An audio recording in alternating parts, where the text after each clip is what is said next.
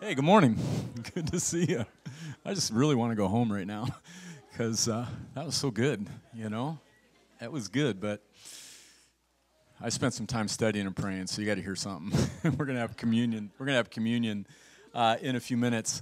Um, man, what a good morning. I had the best morning. I'm having the best morning. Now it's afternoon now, but I got up this morning like six something early, and my wife is standing there with a cup of coffee like this with a big cheesy smile on her face. It was almost like she was saying, Master. She wasn't because we all know who's boss. But it was, I was like, that's how I woke, I woke up, man. It was like, wow, there's a beautiful woman handing me a cup of coffee. That's like, bam, that's a good morning. And uh, then I got a text from somebody, and I'm going to read it in a, in a couple minutes here uh, about a breakthrough they had in their life. It's like my eyes aren't even focusing. I'm, I'm reading this testimony. It was incredible. Um, and then uh, got a call from Pakistan and prayed for a bedridden pastor this morning over the internet and video. And uh, so I'm believing he's like experiencing healing right now. Uh, and then uh, it hit me that the Seahawks are in the playoffs. Like, what? What? What a day, man. What a day. Oh, sorry. Ah, you beat us last week. How many of you do set resolutions? Can I, just for the record, you know, when Sean was saying that about me, I don't do resolutions because I'm so bad at it and I fail so miserably at it. I just, they don't work. And then I read the stats 90% of the people, they don't keep their resolutions. So we're all just a bunch of losers. You know, it doesn't work, you know. But you know something? I'm going to tell you something that I have. Yeah, look at this. I mean, God, welcome to our world, huh? Yeah, this year, that year, lose. Well, what the heck? You know, get fit. Next year, give up alcohol and cigarettes. Well, drink less. Uh, stand up to the boss and find a job. I think that's fun. Try to, yeah, right. My ex-wife. Oh gosh. Yeah, they don't work. I tell you what. I'm just going to tell you what I've done over about the last seven years uh, and you can adopt this because it may work for you. But for some reason, lists, I would go list heavy. You know, goals, resolutions, all this stuff, man. And then seriously, it would like take two weeks to like, such a loser. This like just doesn't work for me, you know. And but what I did start doing about six or seven years ago was asking God for a word that will shape my year. God, give me the word. Don't, just don't pull some word out of nowhere, but God, give me a word that will define my year, that will form and shape my prayers and adjust my vision. And I have found that when I just got one word, it was like that was kind of my whole goals resolution. And that would really do some incredible things. I remember, I remember one year it was it was grace. I said, God, what's the word? He said, grace. And then he quickened Hebrews 13 9. Let your heart be established by grace. And in that single sentence that the Lord spoke, it was like he unre- uh, un- unveiled to me the legalism that I had been uh, embracing unknowingly that I had just somehow slipped into a lot of works and a lot of shoulds and a lot of ought tos and a lot of I better and if I don't and I should and all those kinds of things. And then all of a sudden it was like he was saying, I want you to really get this because this your heart's going to be established by something and trust me, you don't want legalism as the anchor in your heart. You want grace. And that was one year. Another year it was reset. He, he said, look at everything you're doing and continue to do the same things, do it in a different way. He said, he said, reset the way you pastor. You've been a pastor a long time. I want you to reset and rethink how you shepherd, how you lead, how you love people. Do a reset in everything. And so for the last, uh, I don't know how many years, I've been doing a word, word, word. And then it's kind of morphed into like four words. You know, so last year there was four words, and then this year, you know, I'm reading um, Mark 10, and I'm seeing the story of blind Bartimaeus, and and there's four words that kind of call out and cause us to pay attention. So if you're wordless for 2019, you, you might just kind of pay attention because these words really kind of describe what's going on in this scenario. Um, you know, here's what occurs to me uh, that when Jesus encounters people, when you go through the Gospels, Jesus never sees a stuck person and looks at them and says, bummer. He doesn't. Now, some of you think he does. Some of you think Jesus has looked at your situation, looked at you, and said, Bummer. He doesn't because you don't, you don't find scriptures to support that. You see a Jesus who's very involved. Very, I mean, it, if you don't get anything from up to this point in the service, I think we would agree that Jesus is interactive. He's involved. He loves to interrupt. He loves to interrupt patterns of thinking that you've had for a long time that have kept you in bondage. He loves to interrupt it. And how does he interrupt it? He interrupts it with truth. Because I guarantee a lot of the patterns of thinking that we get are lies. But we've just gone along with them. And this, Jesus comes and brings a word of truth and causes a divine interruption. That's a good thing. And, and you're going to see an interruption here, and you're going to see some opposition, and this can be good. Mark 10 46. They came to Jericho. As Jesus and his disciples, together with a large crowd, were leaving the city, a blind man, Bartimaeus, which means son of Timaeus, was sitting by the roadside begging. When he had heard that it was Jesus of Nazareth, he began to shout, Jesus, son of David, have mercy on me. Here's the first word awareness. And the question I want to ask is what's your reality? What's your reality? See, a lot of times people don't change and don't transform because they don't acknowledge the true condition of their soul. They don't acknowledge the true condition of their thinking. They don't acknowledge the true condition of their sin. Because it's easier to pretend things are okay than it is to actually let God and people into the dark places of your soul. It's easy. You're programmed, man. If you've been to church longer than a month, you're kind of programmed, you're conditioned that when people ask you how you're doing, you say, Good, great. We do. Everybody has kind of an automatic response. Very rarely do you get somebody, how you doing? You know, can I, can I just tell you, my life is sucking right now. And you, you got like three hours, sit down, man, and fasten your seatbelt because I got hell going on. We don't do that because it's just easier. Guys, good. It's good. How you doing? Praise the Lord, brother. Jargon. Jargon's easy. But awareness, you can't change what you don't acknowledge. You know, I, always, I think about Luke 15, the prodigal. I love this guy. He just, like all of us, he goes, blows every good thing in his life. I, I love it with the sentence. It says, and he wasted his life on prodigal living. You know what prodigal living is? It's just self indulgence. It's just hedonism. It's just do whatever you want. It's squandering every good thing in your life, debauchery, bad stuff. And then he goes broke because that's what sin always does to you. You go broke. You lose everything, always. Lose everything. He lost everything. So he gets hired to work in a pig pen, and he's Jewish. That's a bad place to be. That's a bad day, man. You're in a pig pen and you're slopping pigs and you're hungry.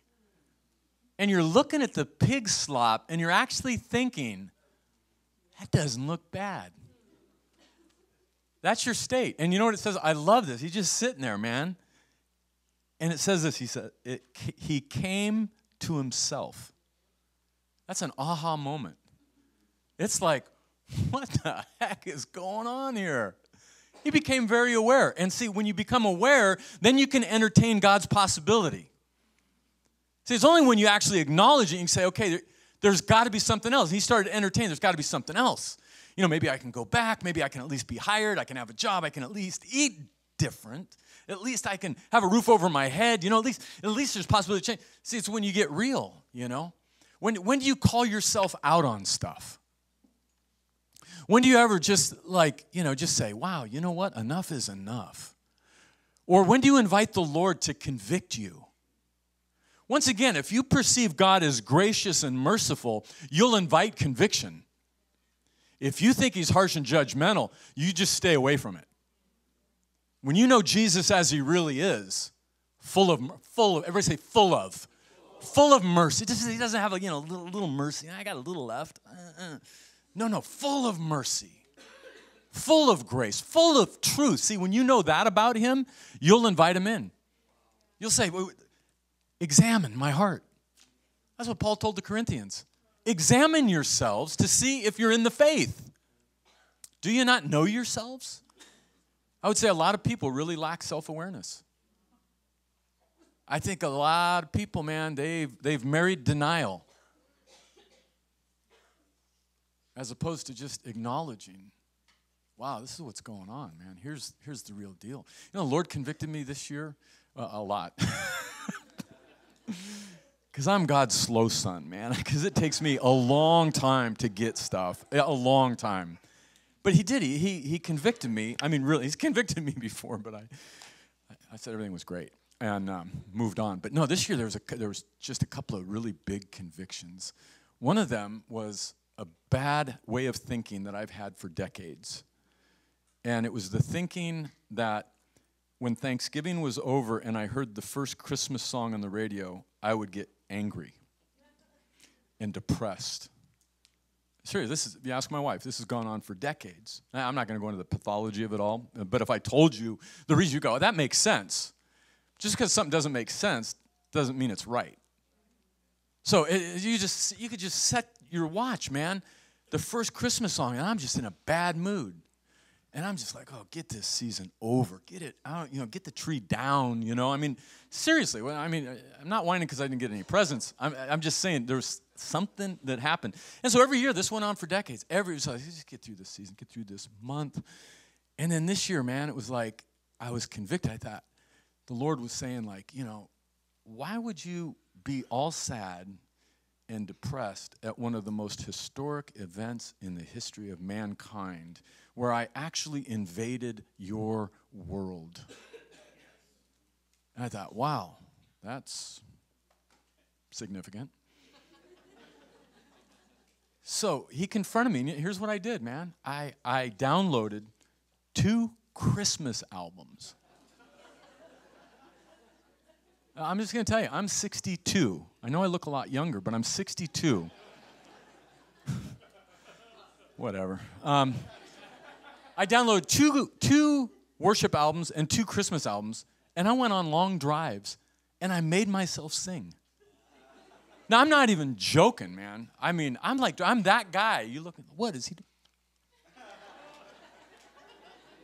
I'm serious. I did that. I drove. I'd go for a drive. Where are you going? I'm going for a drive. Crank it up, man. And I forced myself to sing and worship Jesus. And guess what? a change happened. Unbelievable. But it started with a conviction. And then it started then it, it started with do something different. Let me ask you a question. How many of you get into that mode? I, I just want to know how many of you right after Thanksgiving, man, when you start hearing that Christmas music, you start, you know, it's not good. Raise your, raise your hand. All right, you know what? Here's my suggestion. Keep your hand up. Yeah, these are I have lemons in the front row somebody gave me, and we could all just take them. But I, you know what I think we ought to do? Next year, we all ought to get together and rent like a bus. All of us, people that are prone to little bad attitudes at Christmas, and we're going to crank up the worship, man. And we are, we're going to get sparkling cider, and we're going to just drive around like a bunch of crazy people and worship Jesus. Are you in for that? Are you in for that? Now, not you that you don't have a problem with this. You're not invited to this to this bus. It's only for us that have these tendencies. So, you happy people, you stay away. This is for us in recovery. My name's Bob. I get a bad attitude at Christmas. Hi, Bob. We're here to help. All right. So, awareness. When you look at this guy, was he blind? Was he begging? Was he sitting by the road? Had he been there a long time? Listen, that's his reality. That's not his destiny. Wherever you are, that may be your reality, which reality is your friend. You don't need to be afraid of it. It's not your destiny because you got to get this. Everything in your life and everything in my life is subject to change. Everything. How you think, subject to change. How many of you ever gone from a bad attitude to a good attitude? How many of you have gone from a good attitude to a bad attitude? How many of you got gone from hope filled, faith filled to I doubt God even exists? Yeah. Always the second service. Wow. Um, no, I'm serious. Everything is subject to change. Your body is it subject to change? Especially this time of year, it's subject to change. Everything is subject to change. Your marriage.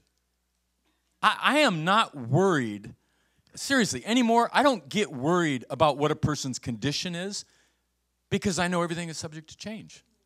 I, I, there are three marriages that I've witnessed this last year that seriously, if you knew them and if you knew what I knew about them, you would go, over, man. Put the line through it, casualty, over. Miraculous turnaround. No, sir, I mean, to where I'm kind of going, geez, man, forgive me for my unbelief, Lord. I'm, I'm talking people that have had decades of dysfunction, decades of poor thinking, decades of an unrenewed mind. And I've seen a miracle, and it's like, God, you're so good. Why did they wait so long? Why do we wait so long? Everything's subject to change. Scripture, the whole Bible, starting in Genesis, where nothing's going on, the earth was without form and void, nothing's happening. God intervenes. God comes in by the Spirit of God and change in the middle of chaos. Everything's subject to change. This, here's the text I got this morning. This is awesome. Pastor Bob, exclamation point, exclamation point, exclamation point. So she's making a point here. Today is a Sunday of significance. Exclamation point. One year ago, 52 weeks ago, you prayed with me after the service to break those sexual chains that had held me in bondage. I am so glad to be celebrating Jesus today and all the amazing work he has done in my life. I feel like I am celebrating a version of soberness, man, exclamation point. It is freeing, exclamation point, exclamation point. I hope to see you Sunday. Thank you for being a pastor and friend to me. That, you know, now, once again, she said, I could na- give her name, I'm not going to do that. Um, but her story is one of those ones you just go, man, that is crazy stuff. Crazy stuff. But you know what? You know, you know where it started? When she acknowledged transparently what was going on in her life. She was embarrassed out of her mind. I remember, like right back there, embarrassed out of her mind, tears, crying, man. But I, I just said, you know what? There is grace. That shame you've walked in, it's going to go. It's out of here. Power of God's going to set you free because you want to be free. And now you have, and she, first service came out just smile, just free, man, free! Exclamation point. Do you get it? Free. Yeah. So Mm. But look what happens. And this, you got to pay attention to this. Verse 48. Many rebuked him and told him to be quiet. You got a guy, man, a poor, blind, begging guy asking Jesus for something, and many rebuked him. Told him to be quiet, but he shouted all the more. I like that, man. I like that. Son of David, have mercy on me. You want to know how insidious the devil is? Uh, let, let me just tell you the devil will steal vision from a blind man. Selah. Pause. Think about that. Guy had a vision to see, and they tried to steal it from him. What if they? What if he would have went with him? Yeah, you're right. All right, I'm just going to shut up. You know who the you know who the many that rebuked him are? They're the same people earlier in the chapter when parents bring kids to Jesus so he'll bless them. And they said, No, no, no, no. Don't let the children near him. And what did Jesus say? No, no, no, no. Exclamation point. No. We're not doing that. Bring them to me. And he placed his hands on them and blessed them. Sometimes don't take no for an answer. No, seriously, sometimes, you know, you think, ah, I prayed, blah, blah, blah, blah, blah. Turn it up a notch. Crank it up a notch. Let me tell you something else. Second word voices. Many voices. Here's the question Who's trying to shout you down? I'll tell you this biblically and experientially, that where there's a great work of God going on, there is great opposition every time. And what God's doing in you is nothing less than a great work. That's just the truth. So there's going to be great there's going to be many voices of opposition. There're going to be external voices come from without. Let me tell you something else. Not everybody is for you. Not everybody's against you either. Oh, they're all out to get me. Not all of them. There's external voices saying, no, no, stop believing, blah, blah, blah, blah, blah. Internal voices, those are the worst. They're the voices that have been talking to you for a long time. You know the voices, right? Is it okay to talk about voices? I'm hearing voices. They're there. Yeah, voices from your past, voices from trauma, voices from addiction, voices of shame, voices that say you're not good enough, you're never going to be good enough, you're never going to get free. Yeah, another testimony, blah, blah, blah. They got free. Not going to happen to you. You know you've you screwed up so bad. Voice says, I'm all alone. You're all alone. I don't belong. I don't fit. It's not for me. There's something wrong with me. I'm damaged beyond belief. I, it's never going to change. You know those voices. Why pray? You've prayed a thousand times. My sheep hear my voice. My sheep know my voice. My sheep obey my voice. And the voice of a stranger they will not follow. You gotta kick the strange voices out of your head. And you may need to distance yourself from strange voices of opposition that don't want you to succeed. A good word for some of you boundaries. I, every year I purge some relationships. Not to be mean, but you're not good for my soul, I'm not good for your soul. Aloha on the steel guitar. That's for real. Is that loving? Yeah, it is. Mm-hmm. It is. Jesus didn't hang out with all the people all the time. And sometimes when there was the most, most pressure on his life, he split uh, later. He will go somewhere else. Some you need to have boundaries. People that cause you to compromise, get rid of them. I don't know why I'm being emphatic, but I am. So I don't know who I'm going after. I don't know what I'm going after. You're trying to stay free and clean from addiction, and somebody tries to get you to compromise, get them out, man. You know what? Get them the hell out of your life. It's a biblical word. No, I'm serious. You're trying to build a marriage and you got other people that aren't taking their marriage seriously and doing a bunch of compromising and a bunch of goofy stuff. Out. Later. You don't have the guts to do it? Call me, I'll write the letter for you. Yeah, I will. I'm not, I'm not even joking.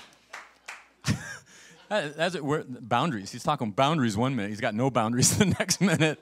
I'll do it. I do it. There was. Oh. There was somebody that was being seduced by somebody years ago. I said, Give me their number. I called the dude. I said, You're hitting on a sister of mine in my church. I suggest you back off. Have a nice day. Jesus loves you. I'm not saying you should do that. I'm just saying, man, sometimes if you don't have the guts to like get out of the get out of the situation, get somebody that does have the guts to get you out of the situation. Well, hope it's spirit led.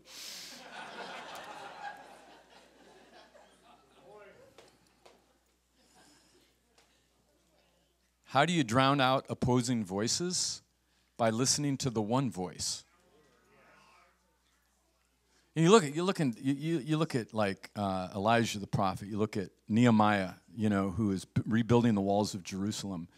There's three adversaries that come against him, and they just tell him they, they mock him, they ridicule him, they tell him to come down. They, they say leave the work. They call him names, which is kind of funny. Three grown men calling a guy names. They call him names. Ten times they threaten to kill the dude. Ten we are going to kill you. Now I don't know how many of you have had death threats. It can be a little intimidating right? But 10 times they're going to kill you? I think they're serious. You know what he said? He said, I can't come down. The work I'm doing is too great. That's good. What's the one voice saying? What's Jesus saying? See, the many voices are, will irritate. Many voices are irritating. The one voice dominates. Many or one? Where do you start? Hey, you know what? This wouldn't be a bad discipline. Grab your Bible and start with all the red letters in the Gospels. because that's where Jesus is talking. Start there. You know, forget the, like, I'm going to start in Genesis, I'm going to go through Revelation, you know, and if you haven't picked up the word in a while, it won't work. You may hit Leviticus, it's over, gone. Do the red letters, man. What's Jesus saying? Because, uh, you know, all of Scripture is inspired by God. It's all the words of Jesus, but the red letters, man, what's he saying to you? Voices, what are the voices saying to you? Dial into the one voice. Verse 49 Jesus stopped and said, Call him. They called the blind man. Cheer up, on your feet. He's calling you. Throwing his cloak aside, he jumped to his feet and came to Jesus. I, will just tell you, I don't like those guys. I wouldn't have liked those guys. So one minute these guys are like, shut up, don't cry out to him. He's busy. He's calling. Come on. He's calling. It's like you chameleons, man. You chameleons. It's like knock on the side of the head. I don't like those guys. Fickle. One minute they're against you, the next minute, oh yeah, we're for you. Verse 51. What do you want me to do for you? Jesus asked him. Isn't that interesting? You're blind. What do you want me to do? Isn't it obvious? No, I mean, uh, it, isn't it obvious? I guess not. Apparently, to Jesus, he doesn't presume what you really want. There's th- actually there's three places in the Gospels where Jesus said, "What do you want me to do?" And they were obvious. It was obvious. Why didn't Jesus say, "Of course you want your sight. You're blind. Yeah, let's do this." What do you want? And what did he say? I want to see. Third word is vision. You know what the prerequisite for vision is? Blindness. A great prayer God, I don't see nothing. I don't see what you see. I have no vision. I'm blind. Would you open up these eyes so I can see what you see, the way that you see it? I'm blind. You go through scripture. Spiritual blindness and hard heartedness are connected. The pure in heart, blessed are the pure in heart, they will see God. Holiness and vision go together. Just saying, if you're not seeing clearly, could be a holiness issue. The pure in heart will see God. See, they will perceive, they will understand, they will have insight into his dealings and what he's doing. You won't be clueless. The pure in heart. Do you have a vision? Do you, do you see some things that God is wanting you to see? I mean, you see scriptures where, you know, he says, admit that you're blind. Um, anoint your eyes with eye salve so you can see. Vision. Here's a thought. I'm not just saying this because I'm old. Spiritual vision should increase with age, not decrease. Why? Because the more you've seen allows you to see more. See, when people come for prayer, it doesn't really matter what the condition is. It doesn't, it, to me, it's all the same addiction, broken marriage, physical healing, it doesn't matter. When I pray, I never look back at when prayer didn't seem to work. I always look back to where I've seen God work and bring healing. It, it's a switch you got to flip. When somebody comes to prayer, it's like, I'm coming on the basis of what I know in Scripture, what I've experienced, what I've seen other people experience. That's what I'm going for. That's how I'm praying. That's where my faith is. I'm, not going to go, you know, I don't know, it might not work. You know, uh, you know, could be a good day in heaven, bad day in heaven. I don't know, you know. No, you don't do that, man. You just, you, you go because you've seen too much. Do you see? Exclamation point. Do you see? Ushers, come on forward, and we're going to pass out communion elements. Vision. You know, I walked through scriptures and I looked up the greatness of God. I looked up how many times the word great is used with either Jesus, God, different attributes. And it's amazing how much greatness is in Scripture. God is referred to as great, his acts are referred to as great. Jesus is referred to as our great God and King. His grace is called great. His mercy is called great. You see, great, great, great faith. They had great faith. The apostles, it said, with great power they gave witness and testimony to the resurrection of Jesus, and great signs followed them. So as I'm, I'm just kind of walking through all this great, great, great, great, great. And if that's who God is, and if that's who Jesus is, then why would I settle for less than that? Why would I settle for anything in my life that is just less than? Why would I settle for a mediocre marriage? Really? Great God, great love, great grace, great mercy, great power, great reconciliation, and I'm going to settle for, well, you know, this is not great. It's okay. We're not fighting. We're not divorced. Really? I mean, really? Where it's like, you know, I'm just kind of bumping along in my job. I mean, why? Go ahead and pass those out if you would. Why do, you, why do we settle? You have anemia in, in your prayer life. Why do we settle? That's just a great question. Why do we settle? Why do we settle for other people? I always, it's disturbed me for over a year now that when the disciples are in the boat and Peter asks to walk on the water and Jesus says, Come, and Peter sinks and goes back, goes back to the boat, I always, it just bugs me. Why did they settle for just sitting in the boat? Why did they settle? I just don't know why they, why wouldn't they think, man, if Peter can do it. I mean, seriously. If Peter can do it, game on. But why would they settle? I wonder why we settle. We see other people doing things. We just say, well, that's them. I think every area of your life, man, if God is really great, if his salvation is really great, shouldn't his freedom be great? Shouldn't his resources be great? Shouldn't we be a part of that? I, I don't know, man. I'm just, this stuff troubles me. I think about it a lot. Why do I settle? Why do I settle for nominalism? Some people settle for, you know, yeah, got saved 1969. And that's it, man. That's all they got. It's like either God is active and alive or he's not. I think he is. Why would you settle? I don't hear I don't hear his voice. Why would you settle for that? If you have scriptural evidence, man, then go for it. Raise your voice all the louder. And it doesn't mean you're not going to fail. Oh, man, I failed. I, I remember one time, this is pathetic. I remember one time I get alone with God, man. I found a cabin. I drove two hours to get to this cabin. I brought 48 bottles of water. I'm going to fast. I just thought you bring a case, two cases of water.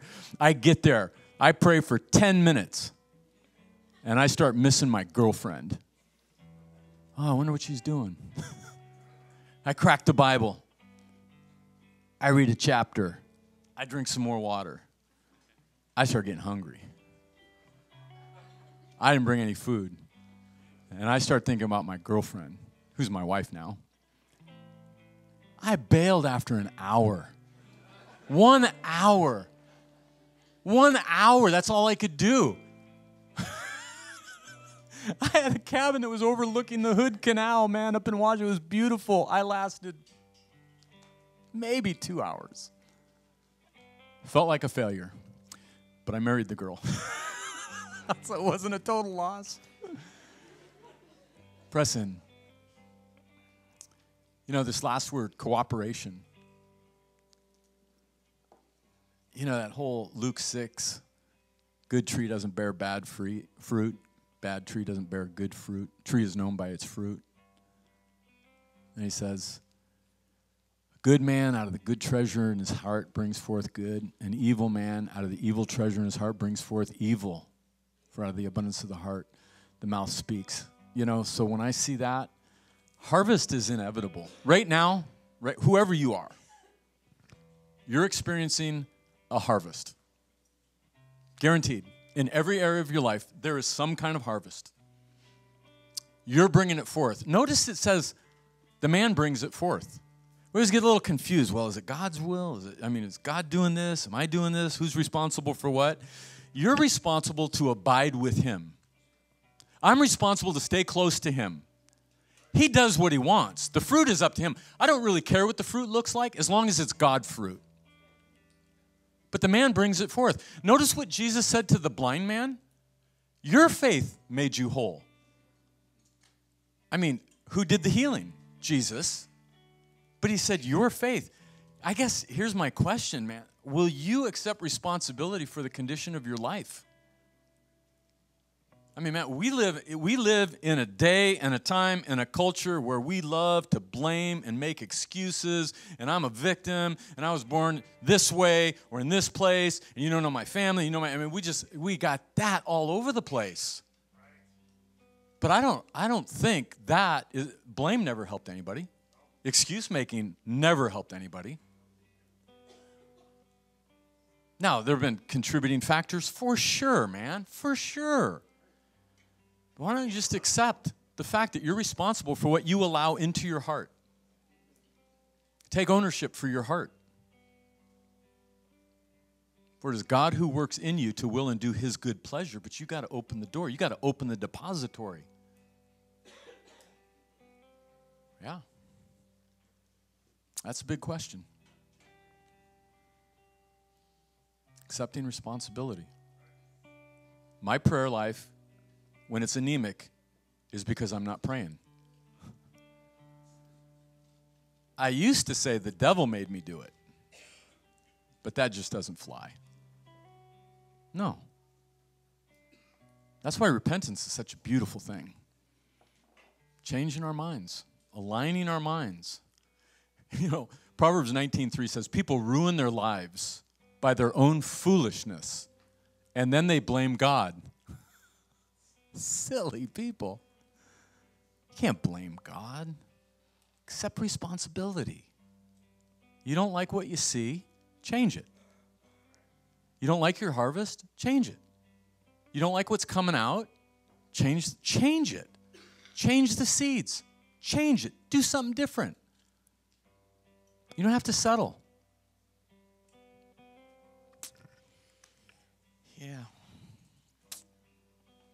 I don't know what else to tell you.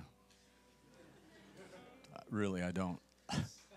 this is all the stuff that has only slapped me around for about 37 years. You just happen to get some of it from me. Sorry. It's true. Man.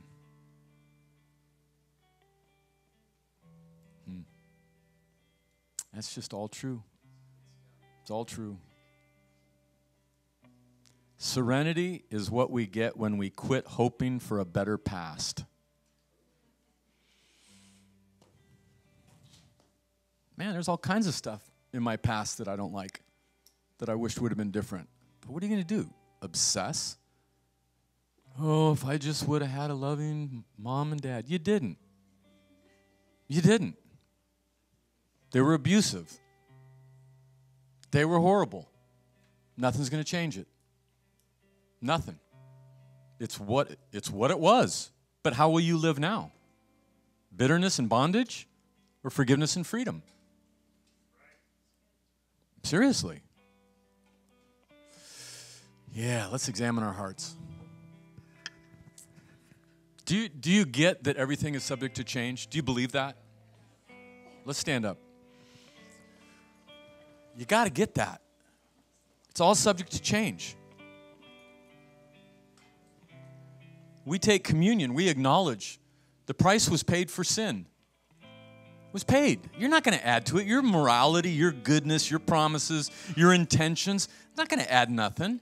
Body was broken, blood was shed. Game over.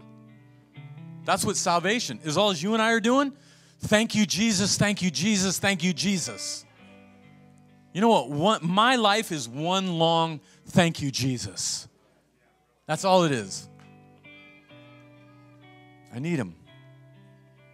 Let's take the wafer. He was broken for me, for you, wounded for our transgressions, bruised for our iniquities. He got what we deserved. We add nothing to the equation. Aaron gave me his communion, and the wafer broke in half perfectly. That's pretty good. Let's hold the wafer up. Jesus, I acknowledge my brokenness before you. Pray you make it very hard for people to hide. Because you were broken, we can be transparent. So I pray that people would be transparent with you. They would not hide, they would not pretend. They would acknowledge their true condition before you. Flawed, but loved by God. We sin, but we're forgiven by God. So we thank you for your body broken. We ask you to bring wholeness into our lives as you see fit in the name of Jesus. Amen.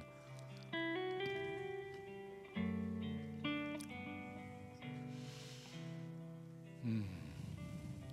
I always love the, the verse in Hebrews that says that the sacrifice of Jesus was offered once as an eternal sacrifice, an eternal offering, and that his blood that was shed cleanses our conscience from acts that led to death. It's one thing to be forgiven, it's another thing to have your conscience dealt with, to where you're not feeling guilty, guilty and horrible all the time. Oh, God, thank you, thank you, thank you for your love, for your blood, for your sacrifice for newness of life.